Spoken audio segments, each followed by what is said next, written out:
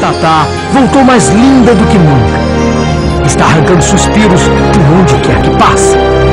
Mas cuidado, ela tem namorado. Ela é a Cavaleira Amarela.